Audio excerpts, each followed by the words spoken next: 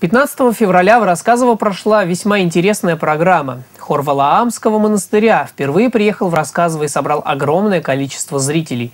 В концертной программе прозвучали духовные песнопения, лирические и авторские произведения, тронувшие душу каждого своим искренним исполнением. В программе «Свет Валаама» прозвучали старинные церковные распевы, современная духовная и русская классическая музыка, военные песни. Сам хор был создан в августе 2005 года. Уникальность хора в том, что он не только является богослужебно-певческим, но и концертным творческим коллективом.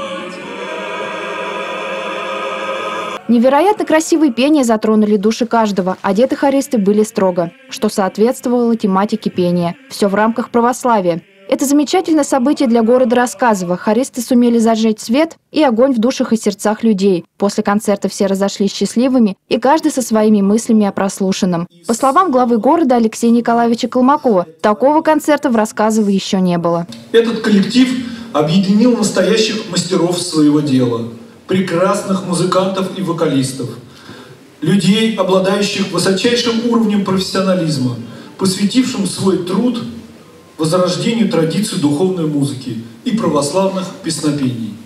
Путешествуя по регионам России, хор Валаамского монастыря знакомит публику с богатейшим культурным и историческим наследием нашего народа, с великолепными образцами древнерусского певческого искусства – традиционной и современной духовной музыкой. Обстановка в зале царила волшебная. И кажется, что все были участниками песен. Каждый слушатель проникся смыслом песен и, конечно, красотой и мощностью тембров голосов. Алена Миронова, Никита Желтов. Новости ТВ рассказываю.